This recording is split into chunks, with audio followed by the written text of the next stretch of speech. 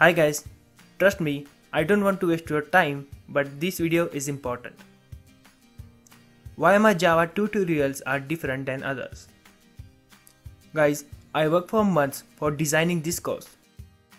I have rewritten every script until I found the best one. This course is designed for both absolute beginners and intermediate programmers.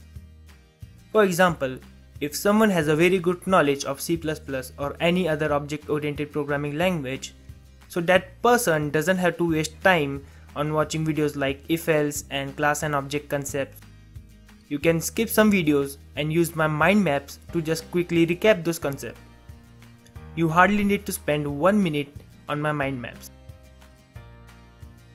In this course, I'll teach you design patterns and best object-oriented coding practices so that you'll code like a professional. Guys, don't break the video sequence. I have designed this course perfectly, so please don't skip videos like JVM, JRE, compiler and interpreter. Just follow my sequence and you will never face any difficulty.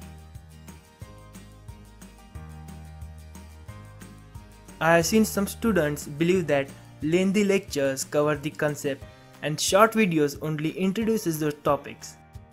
So lengthy 1 hour lecture are better than short videos. Guys, we are in 2018 and everything is smaller and better. Guys tell me which one is better. Obviously the smartphone. I guarantee you that my 5 minute video is better than 1 hour boring lecture.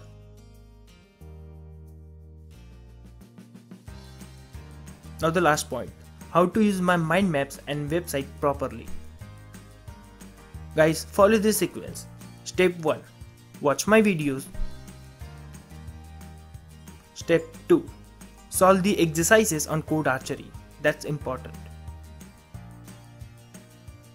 And revise those topics next day using my mind maps.